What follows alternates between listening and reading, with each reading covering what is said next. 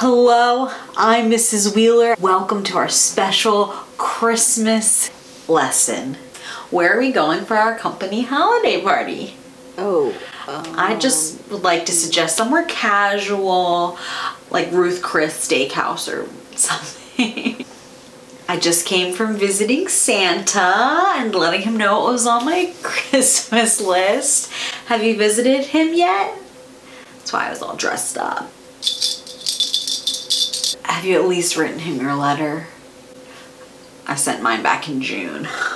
so, we all know St. Nicholas is a real, but do you know how he became a household name and figure? Here's a hint. Really good marketing.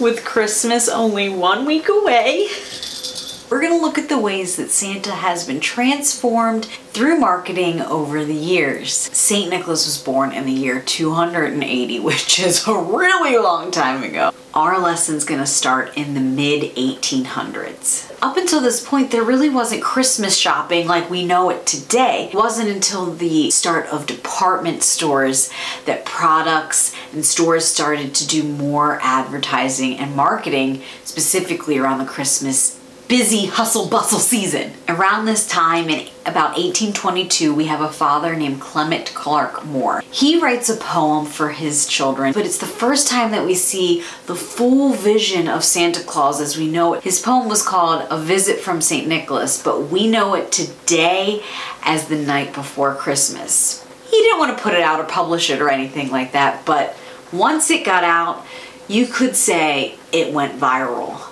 From this poem on, the Santa we know and love today truly starts to take shape. About 60 years later, in 1881, a cartoonist from Harper's Weekly, Thomas Nast, drew Santa Claus by referencing that poem. And it's the first time we see that poem visually take shape. After this, in 1913, we see the start of Norman Rockwell's depiction of Santa. First one we see is actually on the cover of Boy's Life magazine. Shortly after in 1915, White Rock Water uses Santa in their advertising in the 1920s, Santa's image truly becomes concrete as Coca-Cola starts using Santa in their advertising. In 1931, Coca-Cola commissions artist Haddon Sundblom, Sunbloom, Sunblom, to paint images of Santa specifically for their advertising. Their first project together was called Thirst Knows No Season, with Sunblom's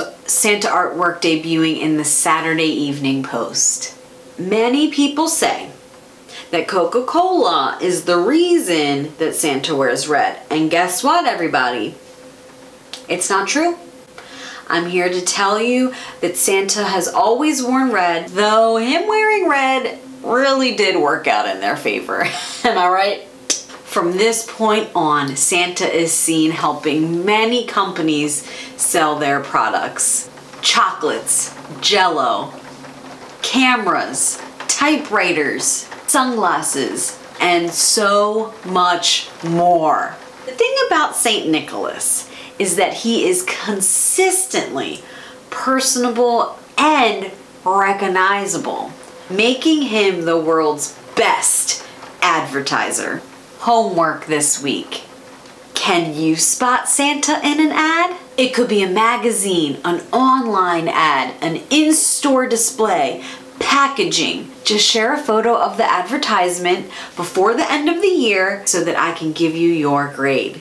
Let's see how many places we can find Santa Claus. That concludes this week's lesson. Have a Merry Christmas and a Happy New Year. I'll see you next decade. Has Santa called? Does he want his hat back yet?